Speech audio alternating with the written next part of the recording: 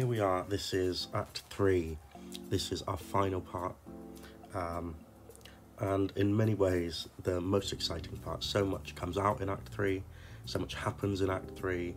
Uh, Lady Bracknell's back. What more could you ask for? Uh, so I really hope you enjoy Act 3. Um, just before we start, I need to say thank you to a few people um, for allowing this project to come into fashion, into fashion, into creation. So, firstly, to everyone in the wonderful, wonderful cast, um, I love you all so much. You've all given me so much love and so much time and so much support. So thank you so much. Um, I'd also like to say thank you to Alex Lovelace, who was our course leader on acting and theatre making, um, who has given us so much support and so much help with this project. Uh, we really couldn't have done it without you. Also to the London College of Music, who have um, helped uh, with promotion of this piece of work. Um, and also to you guys for watching and sharing and liking and commenting and giving us some feedback is really, really helpful and really appreciated. Now, coming soon, we have a reading of The Boy Comes Home by A.A. Milne, so stay, stay tuned for that. Uh, and we'll also have some interviews with some of the cast and some very special guests about this production of Earnest. So until then, I hope you stay safe, hope you stay well, and please enjoy Act 3 of The Importance of Being Earnest.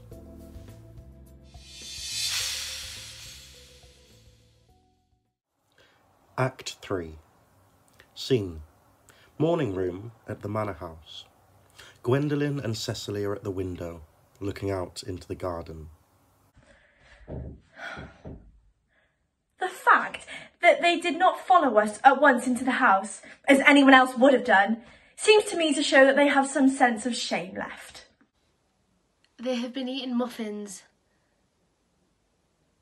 That looks like repentance. They don't seem to notice us at all.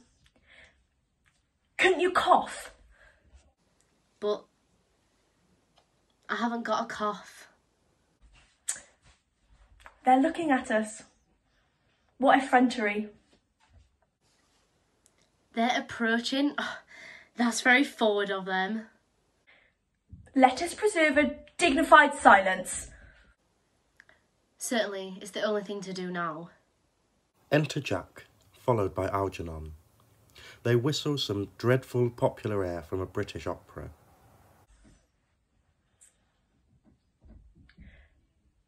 The dignified silence seems to produce an unpleasant effect. A most distasteful one. But we will not be the first to speak. Certainly not. Mr. Worthing, I have something very particular to ask. Much depends on your reply. Gwendolen, your common sense is invaluable. Mr. Moncrieff, kindly answer the following question. Why did you pretend to be my guardian's brother? In order that I might have an opportunity of meeting you. That certainly seems like a satisfactory explanation. Does it not? Yes, dear, if you can believe him. I don't. But that does not affect the wonderful beauty of his answer. True. In matters of grave importance, style not sincerely is the vital thing. Mr. Worthing, what explanation can you to offer me for pretending to have, have a brother? Was it in order that you might have the opportunity of coming up to the town to see me as often as possible? Can you doubt it, Miss Fairfax? I have the gravest doubts upon the subject, but I intend to crush them. This is not the moment for German sexism. Their explanations appear to be quite satisfactory, especially Mr. Worthing's. That seems to me to have the stamp of truth upon it. I am more than content with what Mr. Moncrieff has said. His voice alone inspires absolute credulity. Then you think we should forgive them? Yes. I mean, no. True. I had forgotten. There are principles at stake that one cannot surrender. Which one of us should tell them? The task is not a pleasant one.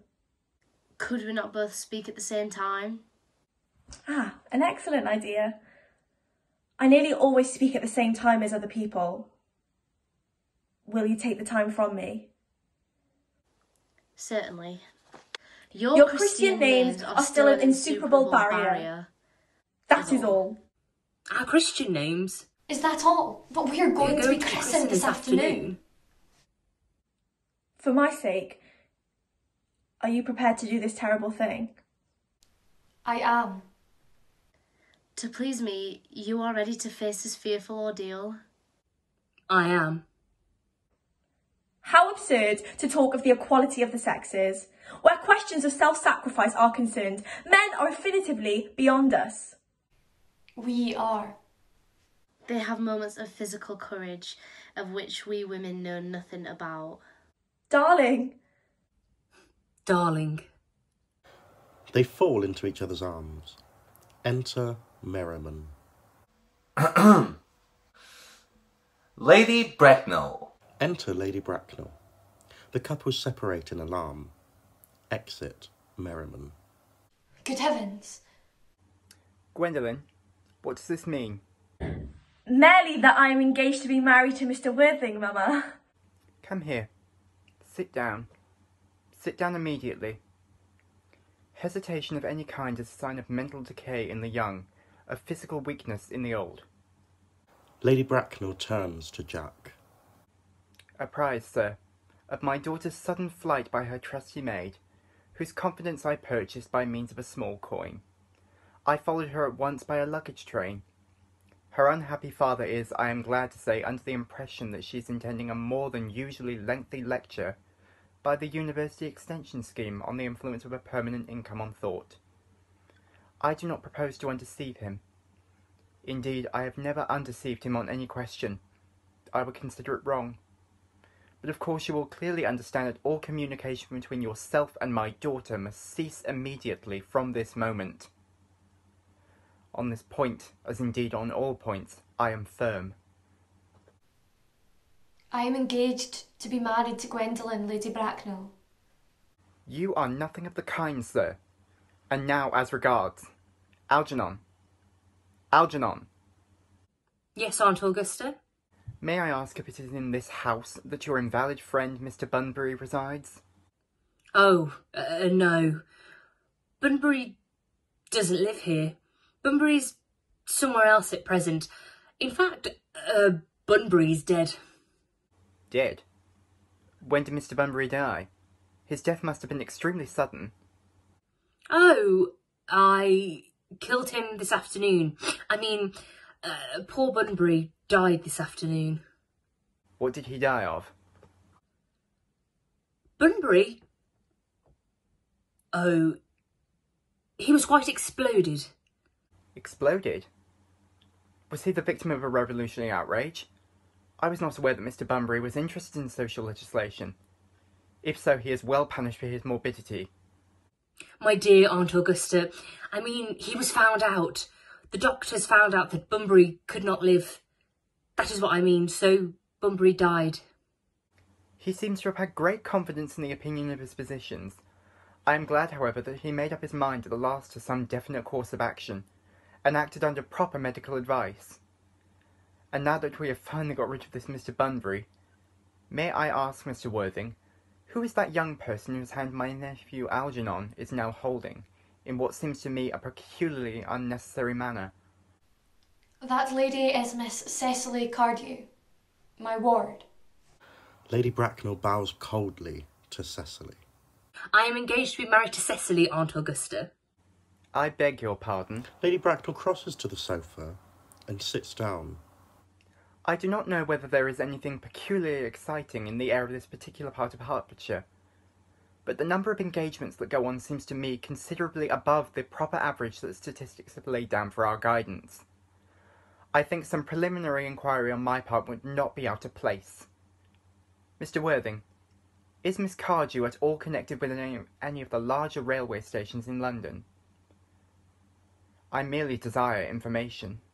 Until yesterday, I had no idea that there were any families or persons whose origin was a terminus. Jack looks perfectly furious, but restrains himself. Miss Cardew is the granddaughter of the late Mr. Thomas Cardew of 149 Belgrave Square, SW, Gervase Park, Dorking, Surrey, and the Sporran, Fifeshire, NB. That sounds not unsatisfactory. Three addresses always inspire confidence, even in tradesmen. But what proof have I of their authenticity? I have carefully preserved the court guides of the period. They are open to your inspection, Lady Bracknell. I have known strange errors in that publication. Miss Cardew's family solicitors are Messrs. Markby, Markby, and Markby. Markby, Markby, and Markby, a firm of the very highest position in their profession. Indeed, I am told that one of the Markbys is occasionally to be seen at dinner parties. So far, I am satisfied. How extremely kind of you, Lady Bracknell. I have also in my possession, you will be pleased to hear, certificates of Miss Cardew's birth, baptism, whooping cough, registration, vaccination, confirmation, and the measles, both the German and the English variety. Ah, a life crowded with incident, I see, though perhaps somewhat too exciting for a young girl. I am not myself in favour of premature experiences. Gwendolen, the time approaches for our departure. We have not a moment to lose. As a matter of form, Mr. Worthing, I had better ask you if Miss Cardew has any little fortune. Oh, about a hundred and thirty thousand pounds in the funds. That is all. Goodbye, Lady Bracknell. So pleased to have seen you. A moment, Mr. Worthing. A hundred and thirty thousand pounds? And in the funds? Miss Cardew seems to me a most attractive young lady, now that I look at her. Few girls of the present day have any real, solid qualities, of any qualities that last and improve with time. We live, I regret to say, in an age of surfaces. Come over here, dear. Cecily goes to her. Pretty child, your dress is sadly simple, and your hair seems almost as nature might have left it. But we can soon alter all that. A thoroughly experienced French maid produces a really marvellous result in a very brief space of time. I recommend recommending one to young Lady Lancing. And after three months, her own husband did not even know her. Kindly turn around, sweet child. Cecily turns completely round. No, the side view is what I want. Cecily presents her profile. Yes, quite as expected. There are distinct social possibilities in your profile. The two weak points in our age are its want of principle and its want of profile. The chin a little higher, dear. Style largely depends on the way the chin is worn. They are worn very high just at present. Algernon, Yes, Aunt Augusta. There are distinct social possibilities in Miss Cardew's profile. Cecily is the sweetest, dearest, prettiest girl in the whole world. And I don't care twopence about social possibilities. Never speak disrespectfully of society, Algernon. Only people who can't get into it do that. Dear child, of course you know that Algernon has nothing but his debts to depend upon. But I do not approve of mercenary marriages. When I married Lord Bracknell, I had no fortune of any kind. But I never dreamed for a moment of allowing that to stand in my way. Well, I suppose I must give my consent. Thank you, Aunt Augusta. Cecily, you may kiss me. Thank you, Lady Bracknell. You may also address me as Aunt Augusta for the future. Thank you, Aunt Augusta. The marriage, I think, had better take place quite soon. Thank you, Aunt Augusta. Thank you, Aunt Augusta. Cecily kisses her. To speak frankly, I am not in favour of long engagements. They give people the opportunity of finding out each other's character before marriage, which I think is never advisable. I beg your pardon for interrupting you, Lady Bracknell, but this engagement is quite out of the question. I am Miss Cardew's guardian, and she cannot marry without my consent until she comes of age. A consent I absolutely decline to give. Upon what grounds, may I ask? Algernon is an extremely, I may almost say, an ostentatiously eligible young man. He has nothing, but he looks everything. What more can one desire? It pains me very much to have to speak frankly to you, Lady Bracknell, about your nephew. But the fact is that I do not approve at all of his moral character. I suspect him of being untruthful. Algernon and Cecily look at him in indignant amazement. Untruthful. My nephew Algernon? Impossible. He is an Oxonian. I fear there can be no possible doubt in the matter. This afternoon, during my temporary absence in London on an important question of romance, he obtained admission to my house by means of the false pretence of being my brother. Under an assumed name, he drank, I've just been informed by my butler, an entire bottle of my Perrier Jouet Brut 89. A wine I was especially reserving for myself. Continuing his disgraceful deception, he succeeded in the course of the afternoon in alienating the affections of my only ward. He subsequently stayed to tea and devoured every single muffin.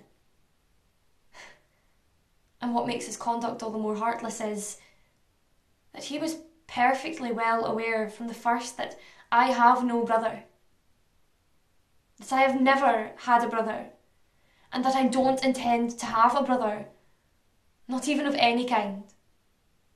I distinctly told him so yes myself yesterday afternoon. Mr. Worthing, after careful consideration, I have decided entirely to overlook my nephew's conduct to you. This is very generous of you, Lady Bracknell. My own decision, however, is unalterable. I decline to give my consent. Come here, sweet child. How old are you, dear? Well, I'm only 18, but I always admit to being 20 when at evening parties. You are perfectly right in making some alteration. Indeed, no woman should ever be quite accurate about her age. It looks so calculating. 18. But admitting to 20 at evening parties. Well, it would not be very long before you are of age and free from the restraints of tutelage. So I don't think your guardian's consent is, after all, a matter of any importance. Pray excuse me, Lady Bracknell, for interrupting you again. But it is only fair to tell you that according to the terms of her grandfather's will, Miss Cardew does not come legally of age till she is thirty-five. That does not seem to me to be a grave objection. Thirty-five is a very attractive age. London society is full of women of the very highest birth who have, of their own free choice, remained thirty-five for years. Lady Dumbleton is an instance in this point. To my own knowledge, she has been thirty-five ever since she arrived at the age of forty, which is many years ago now. I see no reason why our dear Cecily should not even be still more attractive at the age you mention than she is at present. There will be a large accumulation of property. Algie, could you wait for me till I was 35? Of course I could, Cecily. You know I could. Yes, I felt it instinctively, but I couldn't wait all that time. I hate waiting even five minutes for somebody. It always makes me rather cross. I'm not actually punctual myself, but I do like punctuality in others, and waiting, even to be married, is quite out of the question. Then what is to be done, Cecily? I don't know, Mr. Moncrieff. My dear Mr. Worthing, as Miss Cardew states positively that she cannot wait till she is thirty-five, a remark which I am bound to say seems to me to show a somewhat an impatient nature. I would beg of you to reconsider your decision. But my dear Lady Bracknell, the matter is entirely in your own hands. The moment you consent to my marriage with Gwendolen, I will most gladly allow your nephew to form an alliance with my ward. You must be quite aware that what you propose is out of the question.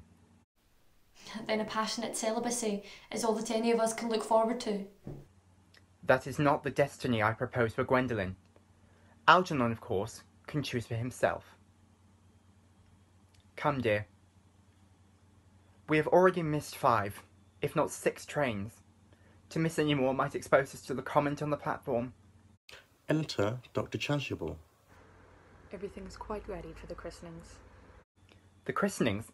Sir, is that not somewhat premature? Both these gentlemen have expressed a desire for immediate baptism. At their age, the idea is grotesque and irreligious. Algernon, I forbid you to be baptized. I will not hear of such excesses. Lord Bracknell would be highly displeased if he learned that that was the way in which you wasted your time and money. Am I to understand then that there are to be no christenings at all this afternoon? I don't think that, as things are now, it would be of much practical value to either of us, Dr. Chasuble. I'm grieved to hear such sentiments from you, Mr. Worthing. They savour of the heretical views of the Anabaptists, views that I have completely refuted in four of my unpublished sermons. However, as your present mood seems to be peculiarly secular, I will return to the church at once.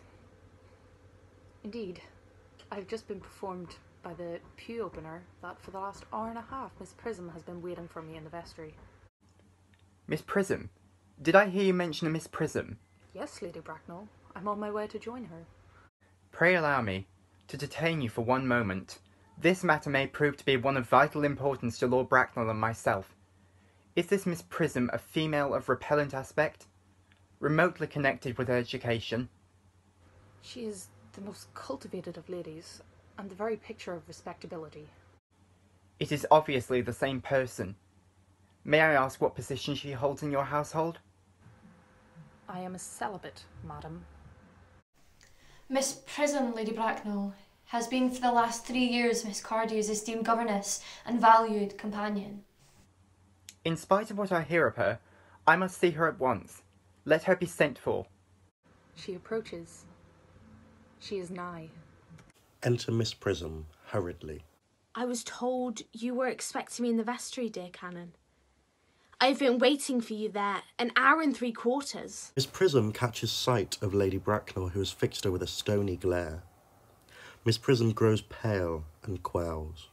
She looks anxiously around as if desirous to escape. Prism, Miss Prism bows her head in shame. come here, Prism. Miss Prism approaches in a humble manner. Prism, where is the baby? Canon stares back in horror. Algernon and Jack pretend to be anxious to shield Cecily and Gwendolen from hearing the details of a horrible public scandal. Twenty-eight years ago, Prism, you left Lord Bracknell's house, number 104 Upper Grosvenor Street, in charge of a perambulator that contained a baby of the male sex. You never returned. A few weeks later, through the elaborate investigations of the Metropolitan Police, the perambulator was discovered at midnight, standing by itself in a remote corner of Bayswater. It contained the manuscript of a three volume novel of more than usually revolting sentimentality. But the baby was not there. Prism, where is that baby? Lady Bracknell, I admit with shame that I do not know. I only wish I did. The plain facts to the case are these. On the morning you have mentioned, a day that is forever branded in my memory, I prepared as usual to take the baby out in its pramulator. I also had a somewhat old but capacious handbag in which I intended to place the manuscript of a work of fiction I had written in a few unoccupied hours.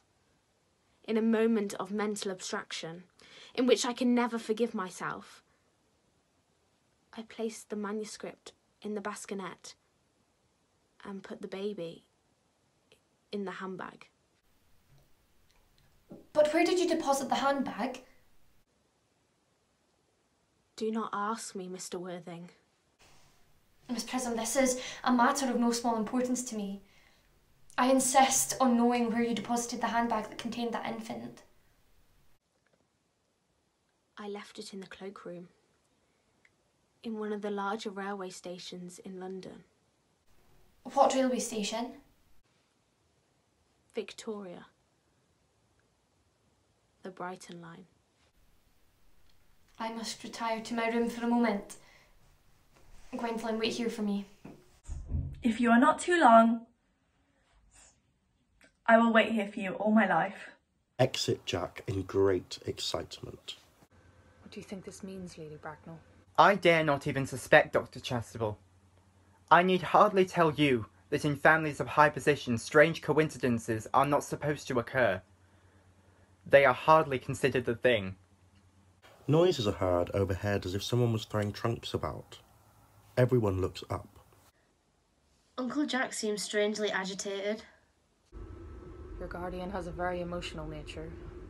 This noise is extremely unpleasant. It sounds as if he was having an argument. I dislike arguments of any kind.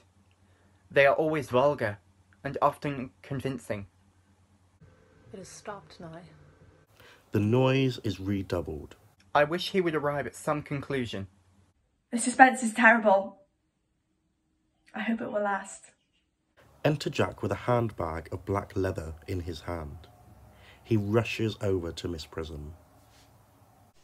Is this the handbag, Miss Prism? Examine it carefully before you speak. The happiness of more than one life depends on your answer. It seems to be mine. Yes, here is the injury it received through the upsetting of the Gower Street omnibus in younger and earlier days. Here is the stain on the lining caused by an explosion of a temperance beverage, an accident that occurred at Leamington. And here, on the lock, are my initials. I had forgotten that, in an extravagant mood, I had placed them there. The bag is undoubtedly mine. I am delighted to have it unexpectedly restored to me. It has been a great inconvenience to be without it all these years. Miss Prism, more is restored to you than this handbag. I was the baby you placed in it. You? Yes. Mother. Mr. Worthing, I am unmarried. Unmarried. Unmarried. I do not deny that that is a serious blow. But after all, who has the right to cast a stone against one who has suffered? Cannot repenitance wipe out an act of folly? Why should there be one law for men and another for women? Mother, I forgive you. Mr. Worthing, there is some error. There is the lady that can tell you who you really are. Lady Bracknell, I hate to seem inquisitive, but would you kindly inform me who I am? I am afraid that the news I have to give you will not altogether please you. You are the son of my poor sister, Mrs. Moncrieff, and consequently, Algernon's elder brother. Algie's elder brother? Then I have had a brother after all. I knew I had a brother. I always said I had a brother. Cecily, how could you have ever doubted that I had a brother? Dr. Chasuble, my unfortunate brother. Miss Prism, my unfortunate brother. Gwendolen, my unfortunate brother. Algie, you young scoundrel, you'll have to treat me with more respect in the future. You have never behaved to me like a brother in all your life. Well, not till today, old boy, I admit. I did my best, however, though I was out of practice. My own? But what own are you? What is your Christian name that now that you have become someone else? Oh, good heavens, I had quite forgotten that point. Your decision on the subject of my name is irrevocable, I suppose. I never change. Except in my affections. What a noble nature you have, Gwendolen. Then the question had better be cleared up at once. Aunt Augusta, a moment. At the time when Miss Prism left me in the handbag, Had I been christened already? Every luxury that money could buy, including christening, had been lavished upon you by your fond and doting parents. Then I was christened. That is it settled. Now, what was the name I was given? Let me know the worst. Being the eldest son, you were naturally christened after your father. Yes, but what was my father's Christian name? I cannot at the present moment recall what the General's Christian name was, but I have no doubt that he had one. He was eccentric, I admit, but only in later years, and that was the result of the Indian climate, and marriage, and indigestion, and other things of that kind. Algy, can't you recollect what our father's Christian name was? My dear boy, we were never even on speaking terms. He died before I was a year old.